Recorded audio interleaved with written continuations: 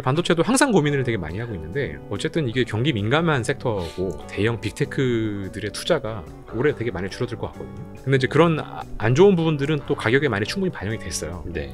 그래서 소비자 단에서의 IT 수요가 좀 좋아져야 돼요. 이 반도체의 올해 하, 한 해를 좀 가름말을 타주는 영역은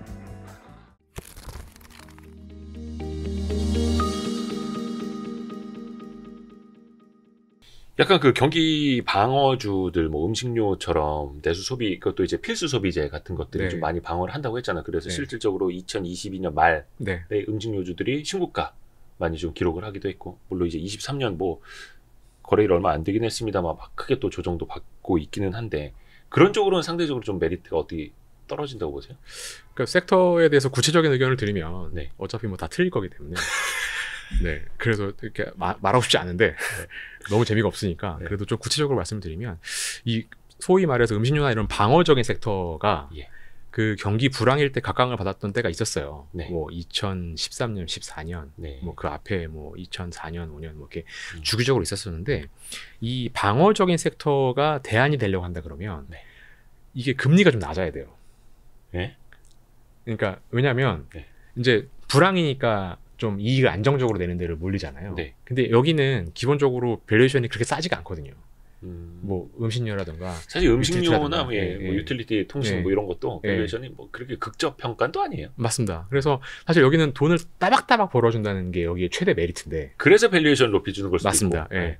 근데 아까도 말씀드린 것처럼 지금 무위험 자산이 돈을 따박따박 되게 많이 벌어주잖아요. 5% 6%, 6%를. 아, 채권, 예금. 그러면 그러니까 이거를 만약에 이제 금리가 5%다. 그러면 금리가 5%라는 거는 이거를 주식의 PER 개념으로 놓고 본다 그러면 음. PER 20배짜리거든요. 음흠. 그러면 내가 아무런 리스크 부담 없이도 PER 20배 정도에 투자할 수가 있어요. 음흠. 그런데 아무리 방어적이고 아무리 하더라도 여기는 좀 리스크가 있잖아요.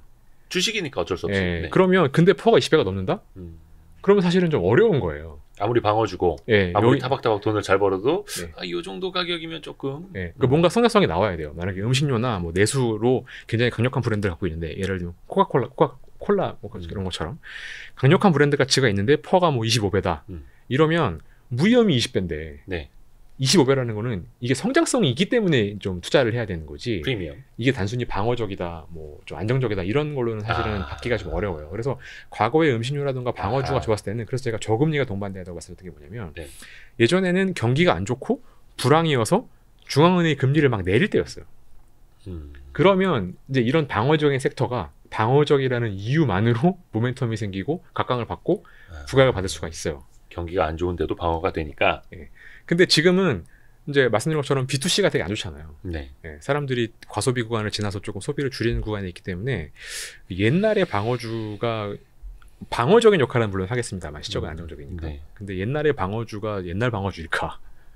옛날만큼 좀 부각받을 수 있을까? 이런 거에 대해서는 조금 의심을 갖고 있습니다. 그러니까 뭐 이런 건 있겠죠. 음. 돈을 따박따박 버는 안정적인 방어주인데 PER이 뭐 4배, 3배다. 안정 너무 싸다. 이러면 당연히 그만큼 상승 여력이 있는 건데요. 네. 근데 이제 그 제가 저 아까 말씀드린 것처럼 일반적인 방어주는 그렇게 싸지 않거든요. 음. 가만히 그렇게 내버려둘 네. 여지도 별로 없고. 네. 그러니까 경기 방어주도 결론적으로 경기가 안 좋아서 무조건 경기 방어주다가 네. 아니라 경기 네. 방어주 내에서도 성장이 나와야 된다. 네, 맞습니다. 네.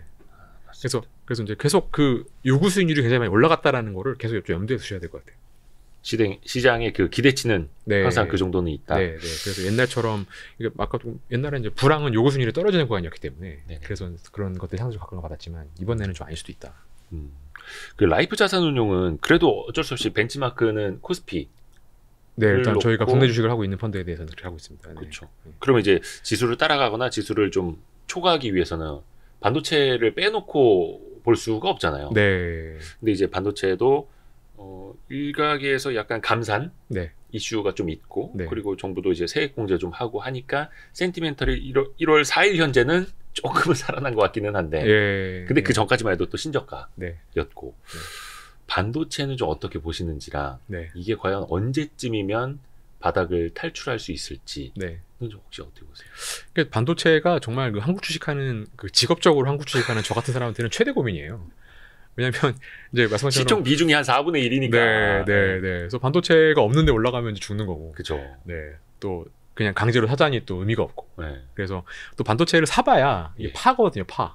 아, 그러니까 삼성전자로는 저희가 골프로 어떤 치면 딱 입은 네. 파. 예, 아, 그러니까 삼성전자는 저희가 초과수를 낼 수가 없어요. 아. 그냥 따라를 가는 정도뿐인 거지. 네. 그래서 되게 이제 그 이런 직업적 펀드 매니저한테는 반도체가 되게 계륵 같은 존재예요. 그렇죠. 항상 항상.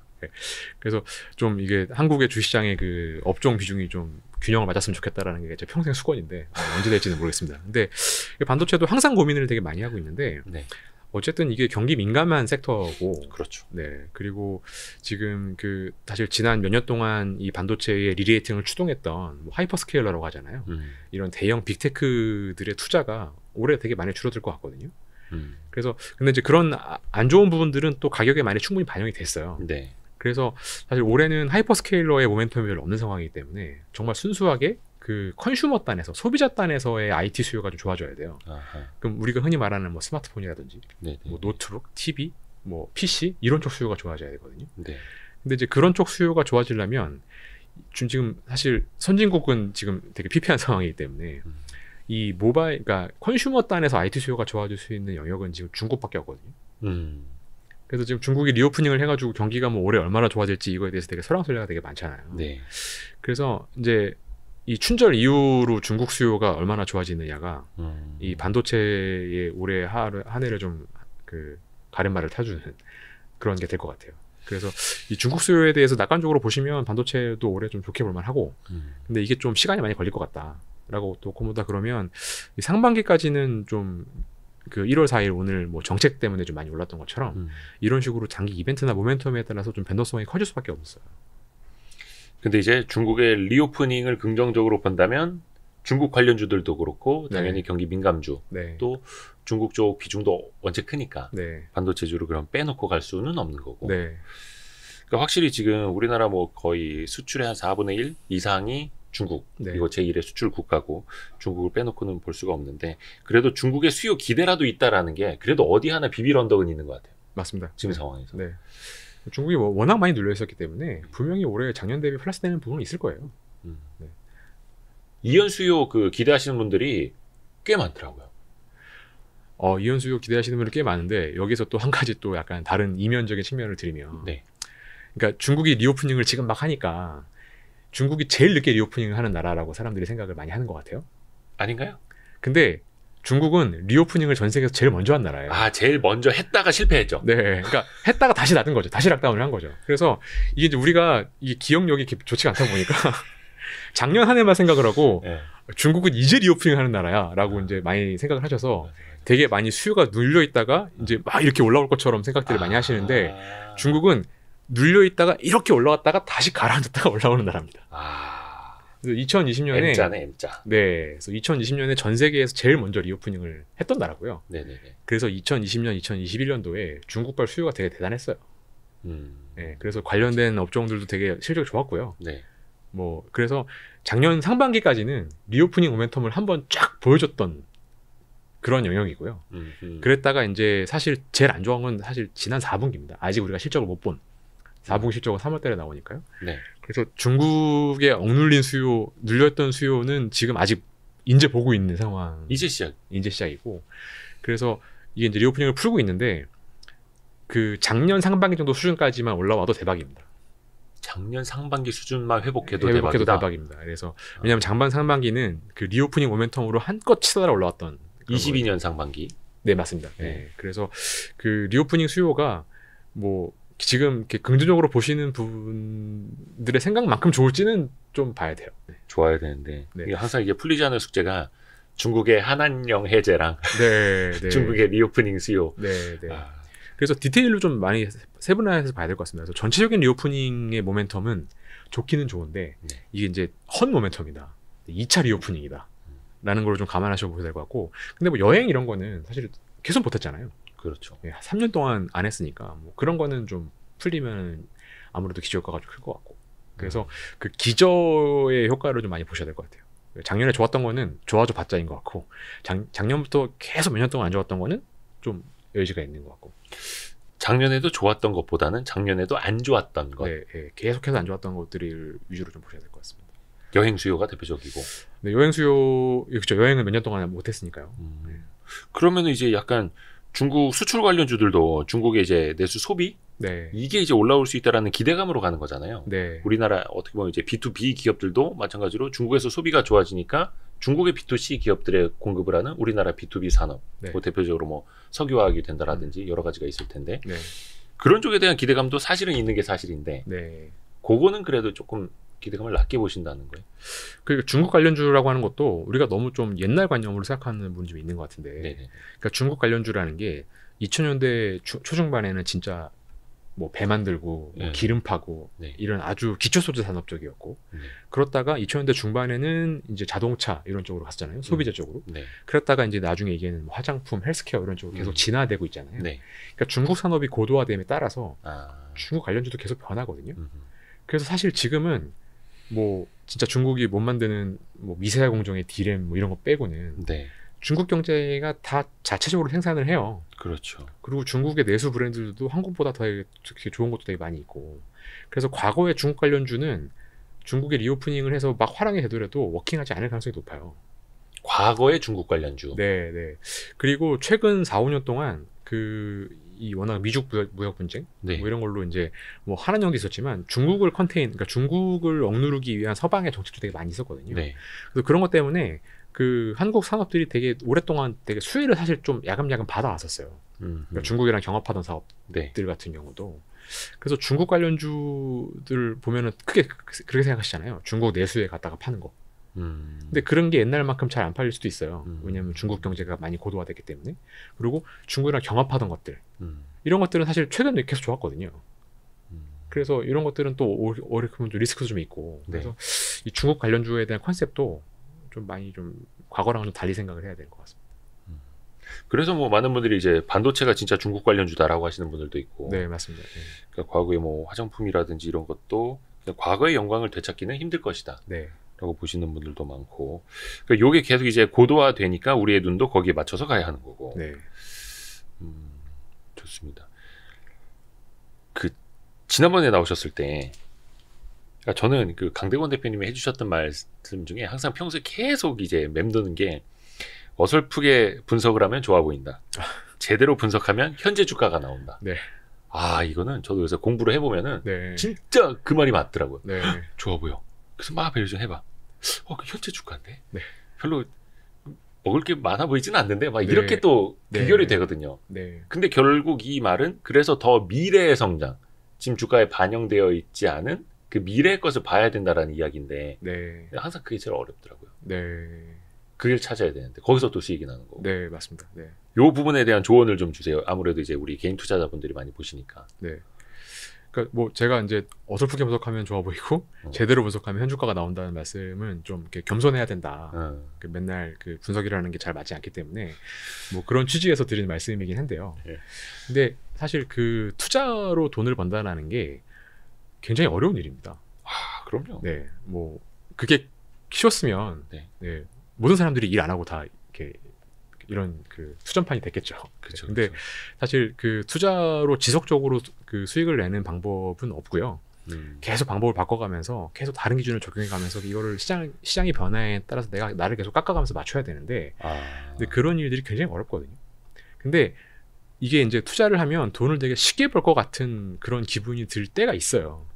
그게 이제 최근 2, 3년이었고 네. 그 간혹 그런 게 때가 있습니다. 뭐 10년이나 15년에 한 번씩 있을 때가 있고 음. 100년에 한 번씩 때도 있고. 그래서 이거는 굉장히 특수한 시기고 사실 대부분의 투자는 거의 수익이 안 납니다. 음, 음. 그게 그게 이제 뭐 자본주의 역사가 길게 길지도 않지만 자본주의 역사 내내 투자 수익이 뭐 그냥 무위험 수익으로 수렴하는 음, 뭐 그래서 은행 예금을 하나 뭐 아파트를 사나 주식을 하나 비슷하다 이런 느낌을 줄 때가 사실 노말인 거고 음, 뭐 내가 공격적으로 투자를 하고 막 분석을 하면 엄청 돈을 많이 벌 수 있을 것 같아라는 거는 그 굉장히 찰나의 순간입니다. 음. 그래서 또 뭐 올해 어떨지 내년 어떨지 뭐 저도 잘 모르겠지만 예, 만약에 이제 지난 2, 3년간의 굉장히 특수한 시기가 이제 지나고 좀 정상적인 시기가 앞으로 펼쳐진다고 본다 그러면 그 제대로 분석을 하든 어설프게 분석을 하든 어쨌든 돈 벌기 힘들 거예요. 네. 그런 시기가 이제 올해가 될 것 같고 내년이 될 것 같고 또 계속 그렇게 될 것 같아요. 그래서 투자 난이도가 굉장히 올라가는 시기여서 그, 그 요구 수익률은 되게 높지만 음. 내가 쉽게 돈을 벌 수 있을 거라는 생각은 좀 버리셔야 될 것 같아요. 항상 그렇죠, 항상. 네, 네, 네. 제가 자주 써먹는 표현 중에 하나가 찰리 먼거의 말. 원래 쉬운 게 아니다. 네. 주식 투자는 원래 어려운 것이다. 네, 네. 그 말이 딱 맞는 것 같습니다. 근데 해주신 말씀 중에 같은 방법으로 계속 돈을 벌 수는 없다. 네. 나를 깎아가면서 변화를 시켜야 된다. 네. 요거 이제 나를 깎아가면서라는 건 그 시장에 맞는 투자를 해야 된다. 네. 이게 어떤 분들이 뭐 컨셉 투자라고 표현하는 분들도 있고 네. 요거를 조금 더좀 구현을 해주시면 좋을 것 같아요. 특히 그게 이제 2023년에 맞춰서. 네. 그러니까 그 사람이라는 게 이제 인식의 폭이 굉장히 대한되어 있고 네. 그다음에 그 내가 인식한 거를 다루는 기술도 음. 인간이 굉장히 많이 결격 사유가 되게 많거든요. 아 그럼요. 그 제가 이제 깎는다는 표현을 드린 건 뭐냐면 그러니까 이렇게 되는 것 같아요. 그러니까 처음에는 처음 시작할 때는 누구나 겸손하고 음. 처음 시작할 때는 누구나 배우고자 하는 열망으로 막 시작을 해요. 그래서 이것저것 테스트를 해보죠. 이렇게 해볼까? 저렇게 해볼까? 이 방식을 써볼까? 그렇게 해서 몇 가지 테스트를 해보다가 어 음. 이게 좀 워킹하는 것 같아. 음. 이게 작동하고 있는 것 같아라는 생각이 들면 이제 그거의 비중을 늘리고 그쪽으로 이제 좀 치달아가기 시작을 하죠. 네. 그러면 이제 사람의 마음 속에서 아 이게 잘 작동하고 있어. 투자는 이렇게 하는 거야. 이 방법이야. 이 방법이야. 이 길이야라는 그런 마음이 계속 자라요. 음. 근데 이제 제가 제일 좋아하는 말씀이 이제 확실한 건 확실한 게 없다는 거다 이런 이런 말씀 많이 들었잖아요. 그 세상은 계속 변하거든요. 음. 뭐 판타레이, 뭐 만물을 흐른다 이런 말 있잖아요. 네. 그러니까 나 빼고 계속 변해요. 그러면 근데 이제 제가 우연히 어떤 잘 작동하는 방법을 찾아가지고 그거에 대한 마음을 이렇게 키워왔잖아요. 음. 그럼 이게 커가면 커갈수록 이제 이 바뀌기 바뀌길 때가 임박한 거거든요. 네. 그러니까 내가 돈을 잘 벌고 내 방식이 잘 먹히면 먹힐수록 이제 이게 유효성이 점점 짧아지기 시작한 거예요. 음. 그래서 야 이 방식이구나 정말 잘 맞아 하는 순간 바뀌거든요. 그거는 불변의 방- 원칙이에요. 세상이 변해 있죠. 네, 세상이 변해 있는 거죠. 네네네. 그러면 이게 이제 세상이 변하면 이 전에 워킹했던 방식이 제일 잘 작동하지 않아요. 음. 왜냐면 이제 바, 바뀌었으니까 바뀌기 전에 제일 잘 작동했던 거는 제일 부적응자가 되는 거죠. 음. 그래서 깎아야 된다는 게 뭐냐- 뭐냐면 그래서 바뀌기가 힘들어요. 그 세상은 바뀌었는데 이거에 맞춰 적응해야 되는데 그러려면 내가 이렇게 그동안 사랑했던 마음, 키워 그잘 내가 보듬었던 마음들을 네. 확 바꿔야 되잖아요. 네네네. 그 너무 어려워요. 그래서 이 변화에 적응한다라는 거는 어떻게 보면은 가장 근본적으로 내가 제일 하기 힘든 일을 해야 되기 때문에 네. 정말 그 내 뼈를 깎는 내 살을 깎는 것 같은 기분을 느껴야 돼요. 음. 그래서 그 이 변화에 적응한다라는 게 뭐 이랬다가 저랬다가 뭐 작년까지는 이 방식을 썼다가 올해는 이 방식을 쓰는 게 되게 자연스럽고 되게 이렇게 심미스하게 잘 흘러갈 것 같지만 음. 그 매번 변화의 과정마다 정말 그 자신을 깎는 음. 그런 팔을 하나 잘라내는 것 같은 그런 고통을 겪어야 되는 거거든요. 그래서 계속 나를 깎는 것 같은 고통이에요, 사실. 뭐또 직업적으로 할 때도 그렇습니다. 그게 어떻게 보면 이제 내가 좋아하지 않는 섹터일지라도 네. 혹은 내가 하지 않았던 투자 행위일지라도 네. 할 수 있어야 된다. 네, 그렇게도 들리는데. 네 맞습니다. 그래서 이게 주식시장은 사실 전 세계 모든 자산 시장 중에서 제일 접근하기 쉬운 시장이잖아요. 접근만. 네, 네. 네, 뭐 채권 같은 걸 할 때 그렇죠. 접근만 쉽죠. 네, 네, 접근만. 그래서 뭐 아주 다양한 요소들이 개입이 되기 때문에 제일 어렵고 음, 그래서 제일 변화도 빨라요. 그렇죠. 예, 그래서 주식에서는 제일 큰 리스크는 많이 오른 게 제일 리스크고 음, 제일 좋은 기회는 많이 빠진 게 제일 좋은 기회예요. 단순히 보자면. 네, 그러면 사실 제일 많이 오른 걸 팔고 제일 많이 빠진 걸 사야 되는 거잖아요. 지- 이게 어떻게 보면 굉장히 쉽게 표현한다 그러면. 네. 근데 이게 절대 쉬운 것이 아닌 것이 지금 제일 좋아 보이는 걸 내가 제 나한테 제일 많이 기여를 해준 거를 정말 그 읍참마속의 심정으로 깎아내야 되는 거고 네. 지금 정말 내가 봤을 때는 합리적으로 도저히 할 수 없는 행동을 해야 되는 거거든요. 음, 그러니까 이게 너무 불가능한 거를 스스로에게 요구하는 거죠. 그렇죠. 네. 그래서 너무 어렵습니다. 맞아요, 맞아요. 어렵습니다.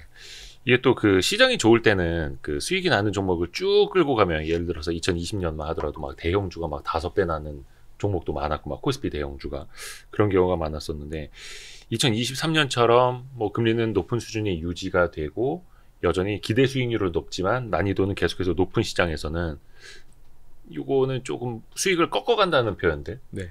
짧게 확정을 짓고 간다는 표현들 그런 전략이 괜찮을 거라고 혹시 보시나요? 물론 이거는 또 시장 분위기가 네. 언제 어떻게 달라질지는 모릅니다만 네, 네. 네. 그래서 뭐 그 저는 이제 기본적으로 뭐 가치 투자나 장기 투자 이런 거를 굉장히 좋아하는 사람이고 그죠 같이 예. 투자자고 그런 방식으로 계속 투자를 해왔긴 합니다만 그 올해는 사실 되게 전환기거든요. 음, 그러니까 그 동안에 되게 오래 있었던 패러다임들이 많이 이제 해체되고 바뀌어가는 전환기인데 요런 시기에서는 조금 그 배트를 짧게 잡는다고 하죠. 음, 좀 그런 식으로 시장을 접근하는 게 좀 도움이 될 거라는 생각이 듭니다. 음. 네. 그래서 그 워낙 뭐 성장 투- 투자, 뭐 가치 투자 이런 걸 많이 많지만 그 우상향하는 자산을 길게 가져가면 돼. 이런 개념을 너무 당연하게 받아들이시는 것 같기도 해요. 음. 근데 뭐 그게 말 자체는 논리적으로 허점이 없는 말이긴 합니다만 세상이라는 게 그렇게 합리적이고 이렇게 늘그 아름답지 않기 때문에 그 모두가 생각하는 진리는 사실 또 그만큼 아까 제가 말씀드린 것처럼 그 유효성이 되게 얼마 안 남은 진리일 수도 있거든요. 음. 그래서 그 너무 이렇게 성장성이나 장기 우상향 이런 것들을 많이 보시려고 하시는데 모레 같은 경우에는 좀 굉장히 전략적으로 시장에 대응해야 되고 전술적으로 조금 매매 빈도를 좀 올리는 것들이 아. 이런 장세에는 좋지 않을까 뭐 이런 생각도 좀 듭니다. 네, 그래서 저희도 올해 좀 액티브하게 하려고 하고 있고요. 음. 그래서 그 많은 것들이 바뀌는 것 같아요. 그러니까 최근 10년을 놓고 본다 그러면 최근 10년 그 투자 상품이라고 어떤 시장에서 바꿔 봤을 때 최고의 히트 상품은 ETF거든요. 음, 네. 네. 그래서 어떤 뭐 지수를 쭉 끌고 간다든지 어떤 음. 테마를 쭉 끌고 간다든지 뭐 2차 전지 ETF 이러면 2차 전지를 내가 뭐 쭉 간다든지 그러기엔 식으로. ETF가 최고죠. 네. 음. 그래서 ETF는 굉장히 성장을 하고 네. 반대로 이제 active 펀드 같은 경우에는 아주 지옥 같은 10년이었어요. 음. 그래서 왜 펀드 매니저한테 비싼 수수료를 주면서 이렇게 그렇죠. 매매를 시켜야 되느냐? 음. 뭐 매매해봐야 비용밖에 발생 안 하고 네. 그냥 장기 테마로 장기 투자하는 게 최고의 투자법이다. 음. 이런 게 굉장히 정답처럼 굳어졌거든요. 네. 근데 이제 그런 것들이 작년에 많이 좀그 깨졌죠. 역효과가 나왔고 어. 작년 하반기부터는 좀 변화의 조짐들이 많이 보여서 음. 그 저는 뭐 앞으로 얼마 될지는 모르겠지만 이미 시작은 됐는데 굉장히 active investing이 중요한 시대가 될 것 같아요. 음. 그래서 그 active investing이라는 게 이제 뭐 짧게 본다 그러면 종, stock picking을 어떻게 하느냐, 음. 어떤 종목을 고르냐에 따라서 수익률 편차가 되게 많이 나는 것도 있고 같은 테마, 같은 업종 내에서라도 그리고 언제 사고 언제 파느냐에 따라서 수익률이 굉장히 많이 갈릴 거라고 생각이 듭니다. 그래서 지금은 이제 사실 명실공히 작년 하반기부터는 active의 시대가 된 거죠. 진짜 선수들의 장이 열린 거네요.